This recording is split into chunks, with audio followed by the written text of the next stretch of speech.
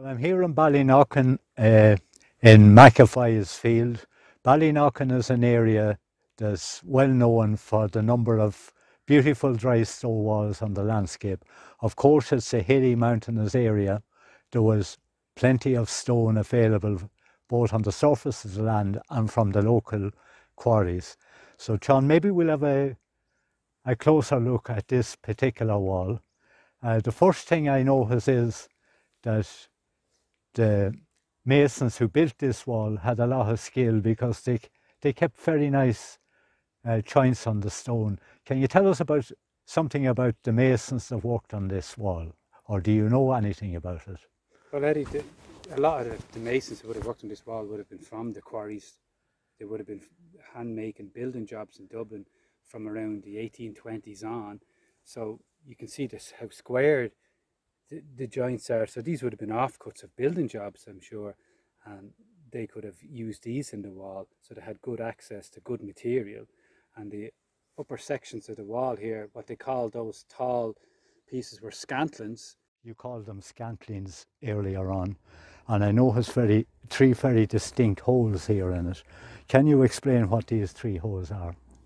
What they used to do here, is they get a flat chisel and they would put the chisel on the stone and as they would tap it with the hammer they would revolve it, the chisel in their hand and they would bore the holes into the rock okay. and then what they would do is they'd get a, a, piece of timber and beat it into these holes and that was their way of fixing the wire for the fence to the granite rather than wrapping wire all around the post they had a nice clean area to put in a, a little pin to pin the wire yeah, the, it was a great idea. Yeah. It was a great idea.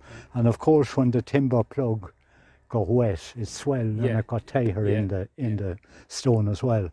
Now another thing I notice about or feature that I notice about the, these pillars is that there's markings here along the, the edges, the corners. Can you explain why or what the marks well, are? When they would be quarrying out a piece of stone, especially a piece that length there, which is over six foot.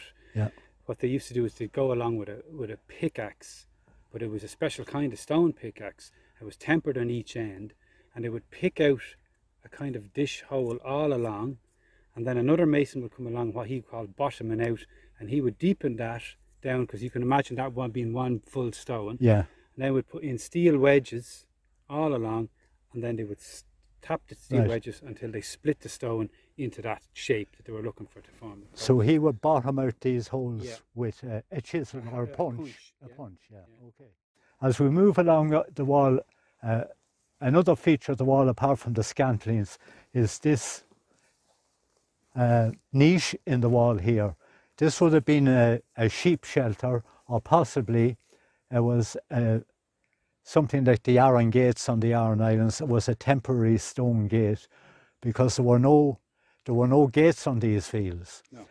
So if you were moving sheep, and it's a sheep uh, rearing countryside here. If you're moving sheep from one area to, to the other, you needed to have easy access from one field to the next field. And the way they seem to have done it here was they built a niche into the wall and just built a single layer of stone on one side of that that could be easily dismantled mantled to let the sheep through. Would you say that was the reason for this particular I, I niche would, here? I'd imagine because these fields might have been landlocked and then families, you know, one brother taking over a field from another, they would have had this for easy movement of sheep through, possibly. And then in later years, maybe somebody took over the ownership of all of it or the family separated, they would close off the other side of the, the niche that's in the wall there. Yeah, it, it, it looks like that was the idea for it. Uh, there was also a second reason maybe why these uh, niches were built into uh, there would be a lot of snow here in County Wicklow. Yeah. And if there was a snowdrift here on the hillside, the sheep would naturally go to where they would get a bit of shelter. And of course, that was at the wall. And if there was a hole in the wall, there was even better shelter.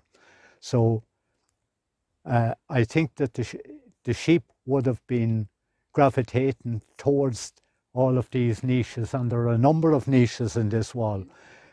And in a snowdrift, rather than the farmer having to dig up snow looking for his sheep, he knew if he went to where the niche was in the wall, he would find the sheep. I think that was another reason for that. But down here in the corner, we're coming to a different type of feature here in the corner between the two walls. It's a different niche than the one that we looked at earlier on. Can you explain something, please, about this? Well, what this, this is, Eddie, because it's such a smaller niche, what they used to do back back in those years was they used to chase the hares and the rabbits out of the field. And as they ran into the corner of the wall here, the only place to escape was through this hole. So there would be another guy on the far side of the wall with a hessian sack and he would catch the rabbits and the hares as they crossed through the wall. The Terminator. yeah, and that's what their dinner was. That's the fresh meat they got for that day was through that catching them through that little niche there. Yeah, it was a great idea, and of course there was no grains of pellets or lead or anything else to be no, no. taken from the hare after they had captured it. So thanks for that, John. Uh, this wall, compared to the wall that we've just walked down along, is a different type of wall. This is a consumption wall, and consumption walls were built for land clearance purposes. Uh, we're here on a hilly area, as I've mentioned earlier. There was a lot of surface stone, and the, the best way to get rid, collect and get rid of the stone was to build it into a wall. And because there was so much stone available, they built uh, what was known as a consumption wall. It consumed a lot of a lot of stone. What width would you say this wall is, John? I'd and say at the top, Eddie, it's definitely seven strong feet wide at the top, and uh, all the way along the field there. I don't know how many meters really we're looking at there. Yeah. It's the full length.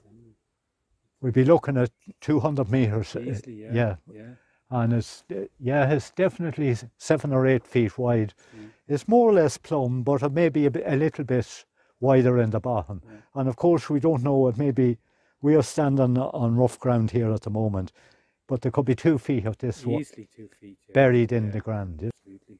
so that's great it just shows that uh, dry stone walling was practiced all over the country we're going from galway to wicklow and we've been in other parts of the country uh, the technique in all areas is basically the same and uh,